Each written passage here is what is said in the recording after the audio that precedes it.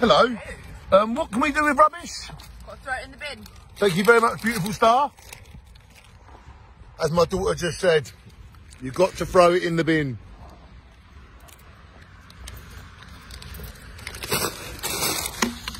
Thank you.